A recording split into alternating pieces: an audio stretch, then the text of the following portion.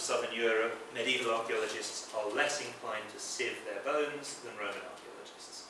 Whereas in northern Europe, medieval archaeologists seem to be more inclined to sieve their bones than Roman, sieve their finds than Roman archaeologists.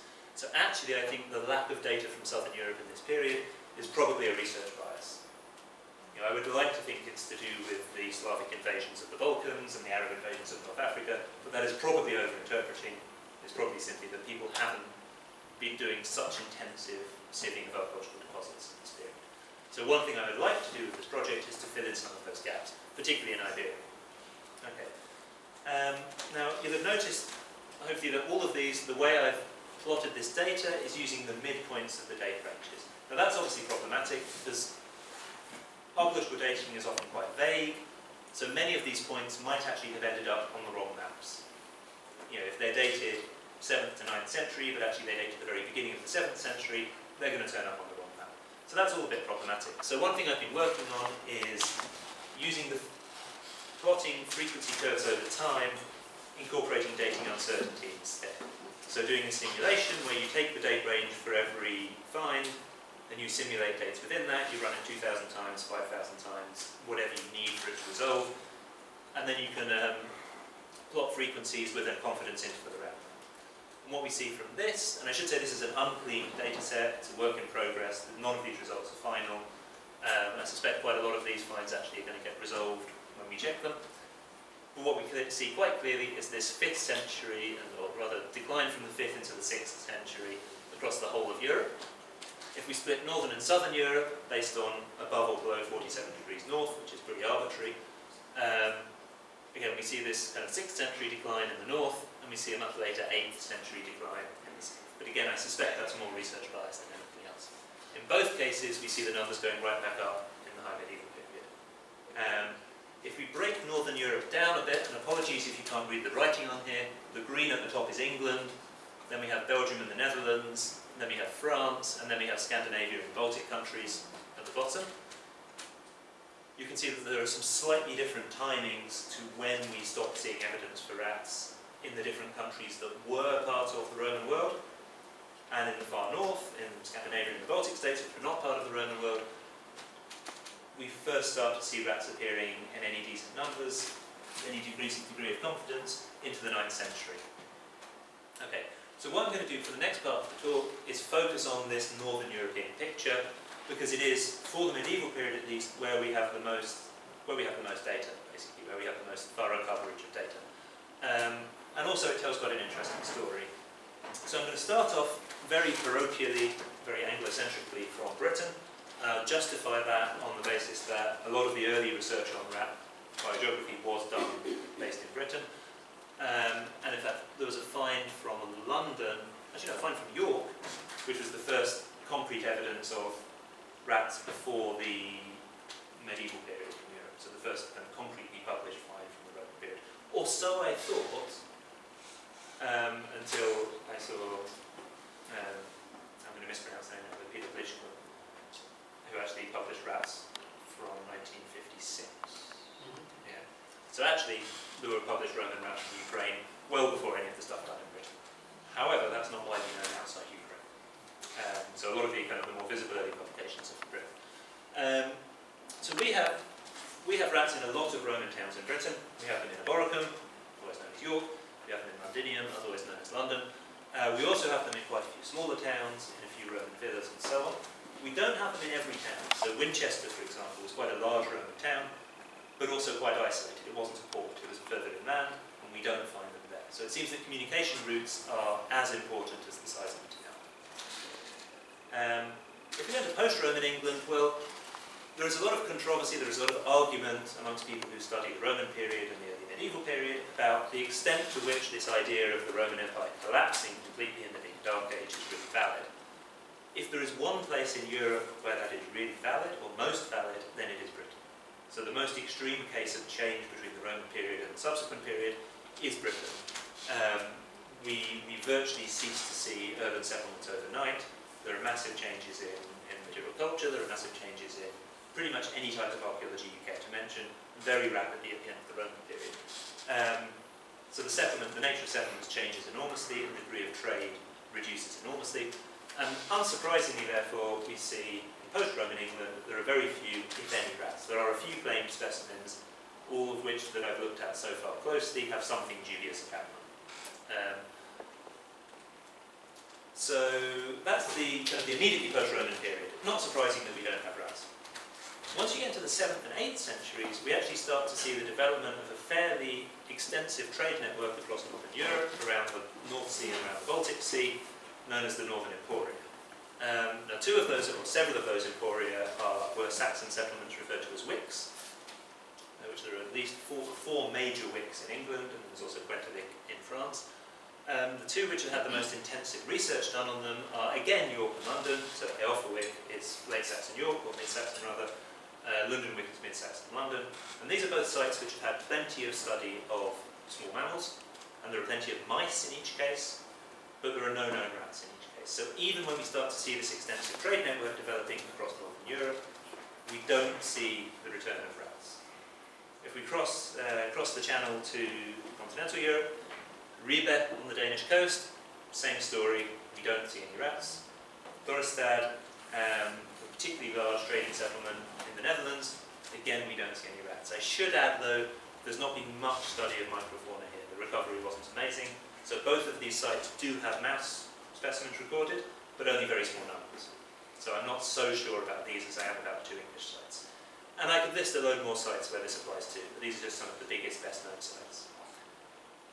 Then, if we move into the 9th century, and particularly into the middle and middle and the end of the 9th century, we start to see rats appearing again. And they appear um, at York, in Jorvik, so the Anglo-Scandinavian levels of York, the Viking Age levels of York. They appear in Birka, which is sorry, up here near Stockholm, a big Viking Age trading settlement again from the, I think 829 is the beginning of the dating for the first phase that has any rats in, so mid-9th century. And probably also in Hedeby. So there are, there are lots of rats reported from Hedeby, which is it's a Danish settlement, it's now in Germany, but um, Hedeby is the Danish name. Um, there are lots of rats reported, but the zooarchaeologists who reported them didn't refer to the phasing of the site. So within the about 200 years it's occupied, I don't know exactly when those bones are. So they might be earlier than Birka and York, if they're from the very earliest phase, or they might be later if they're from the very latest phase. I don't know. Uh, but they're certainly consistent with the same pattern. So what I kind of suggest, based on this, and based on a few other less well-known settlements with less good dating and that kind of thing, is that we may have basically a 9th century Viking Age rat horizon. So where rats reappear across northern Europe fairly rapidly in the mid-9th century. Um, so, you know, we have no firm finds before about here. Birka is one of the earliest, and then after that we start to see them coming in more and more sites. Um, so we need to get more data to fill this out, and we particularly need more data from the eastern part of the Baltic. But based on kind of fairly well-known, well-published sites, it looks like there may be this Viking Age phenomenon. And that then raises the question of what was the route by which they spread.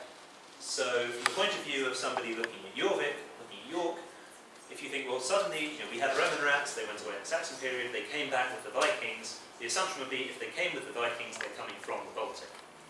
But the Baltic is an even more unexpected place to find what is essentially a South Indian species turning up in the 9th century. So the question then is how did they get to the Baltic? And there are really two possibilities here. One is that actually there was a revival of rat populations in France, in the Carolingian world, so what you might call the Carolingian renaissance of rats, and that they then spread back up into the Baltic secondarily after reaching Western Europe. The other possibility is that they reached the eastern Baltic via the riverine trade along the Volga and the Daugava and Dnieper, which starts to lead you to realise why I'm in Ukraine at the moment um, in which case we'd have a west to east spread. So, I have a small project funded by the British Academy where I'm trying to resolve this question as far as we can. And this is a very small pilot project. We don't have money to do any DNA or anything like that, um, although we have, we have done some pilot DNA, but we can't do anything substantial.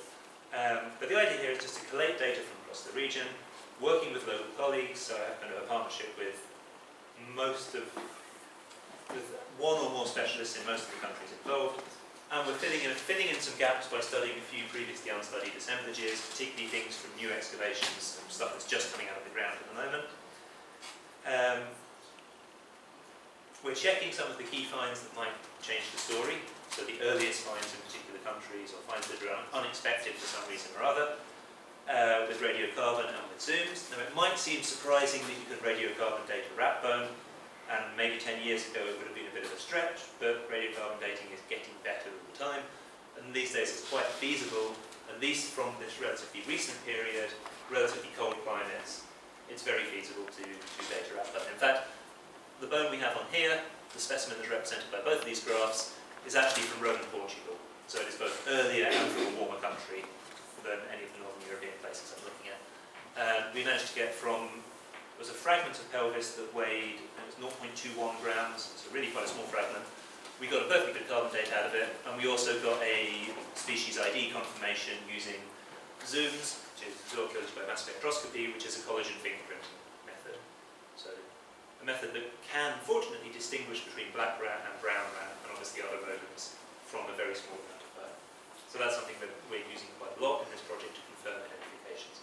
Whenever we date a sample, we take a small bit of the collagen to get ZooMS as well, so that we can be 100% sure what we're dating. Okay. Um, we've also done a little bit of pilot DNA work, and right now I have a collaboration with Oxford and with Jena, so rather than doing this myself, I'm not a geneticist, we're sending some samples off where we have sufficient material to do that. We're also planning on looking into geometric morphometrics. This is a uh, graph from a paper by Lecoulade and Hulme-Beaman, where he's showing that you can separate black rat from brown rat by the shape of their teeth, by morphometrics. More importantly, I think, we're also thinking we do GMM on the mandibles to actually to try and pick up adaptive signals. So by looking morphometrics, one thing you can look up is you can look for is phylogenetic sig signals, particularly from teeth, which are relatively conserved. Mandibles may give us a better signal of kind of convergent adaptations to So the holy grail would be to pick up kind of an, an urban settlement signal in mandibular morphology, which given how rapidly rats can adapt, in their short generation times and high selection, is actually quite feasible. Um, okay, so most recently I've been working in the Eastern Baltic, where I've been trying to fill in some of these gaps to try and firm up this idea of whether we have rats moving from east to west or from west to east. And there are three possible hypotheses a priori for when rats reach the countries of the Eastern Baltic. Um, one, and this is kind of the default hypothesis amongst many of the local archaeologists you talk to, is that they arrived along with German and Scandinavian colonization, which is broadly speaking the 13th century. So Finland is heavily settled by Swedes, the northern part of Estonia is annexed by the Danish crown in the early 13th century, around the beginning of the 13th century anyway. Um, and there is obviously the, the Northern Crusades in which substantial parts of the Eastern Baltic littoral are colonised and settled by German populations. Um, for example, most famously the Teutonic Order, um, the Livonian Order further north, but also a whole range of independent um, independent German crusading groups, and you get a series of bishoprics set up in the area. We know that a lot of those sites have rat bones in so Teutonic Order castles quite often have rat bones in them. What we don't really know so much about is earlier periods, so I've been trying to look into that a little bit. So the next possibility is that they arrived in the Viking Age or the Final Iron Age from the west, so around the same time that we find them in Sweden and in Denmark and in northern Germany and in northern England, they may be arriving in the same area. Okay. The other possibility is that they're actually in the Eastern Baltic a little bit earlier than they get to the west, so before about 850, in which case you could make an argument that they're spreading from the south and east along the river in trade routes. Distinguishing between these two is going to be a little bit difficult because actually the dating is likely to be very close and maybe the differences between the east and west will be beyond the resolution we can get with carbon dating, certainly, but we'll see. But certainly we should be able to say whether this is the situation or whether this is the situation. Okay, so these are the results we have so far. Some of these are new finds that nobody previously knew about will be found in boxes of unrecorded bones. Most of them, however, are finds which have been studied before for somebody's MSc dissertation or somebody's PhD, but were never published and were in an archive somewhere on a shelf and are not known or outside the university in which the PhD was written